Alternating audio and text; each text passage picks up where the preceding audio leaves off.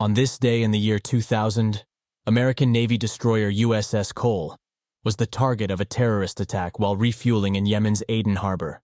A small boat loaded with explosives rammed into the ship's side, causing a massive explosion.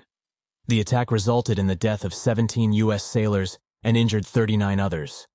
The extremist group, Al Qaeda, later claimed responsibility.